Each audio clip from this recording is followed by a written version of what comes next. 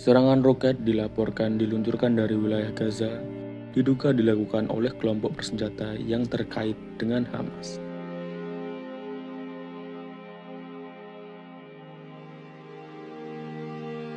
Pada Oktober 2024, roket yang diluncurkan menghantam selatan Tel Aviv, mengakibatkan setidaknya dua orang terluka bertepatan dengan peringatan pertama Operasi Banjir Al-Aqsa.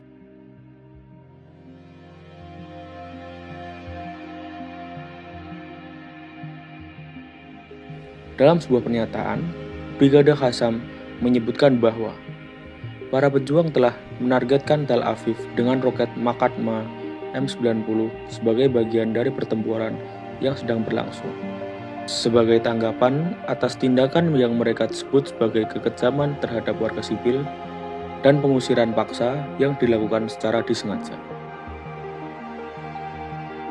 Serangan roket tersebut terjadi bertepatan dengan peringatan pertama Operasi Banjir Al-Aqsa, di mana ribuan pejuang Palestina dilaporkan keluar dari Gaza melalui udara, laut, dan darat, menerobos pangkalan militer Israel dan menangkap lebih dari 240 orang.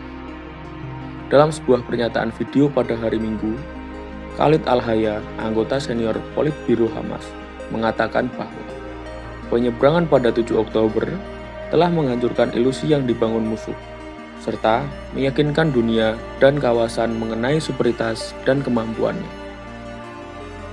Sebagai respon terhadap operasi perlawanan, Israel dilaporkan melancarkan kampanye militer di Gaza yang menyebabkan lebih dari 40.000 warga Palestina tewas.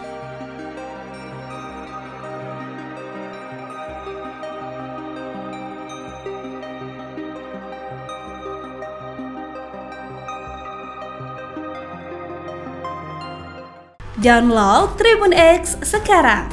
Menghadirkan lokal menjadi Indonesia.